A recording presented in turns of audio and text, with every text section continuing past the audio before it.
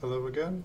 Uh, our next coin here is a uh, is a 1858 Flying Eagle cent, and it's the large letter variety. And it's been graded by PCGS, and they graded it very fine 25. And we can take a look at the front here. And we can take a look at the back. And if you have this coin uh, and you're wanting to sell it, eBay works really well.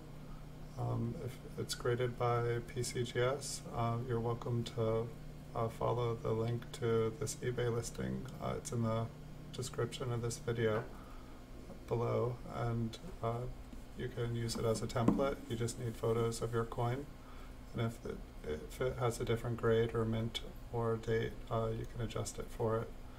Alright, thanks for watching.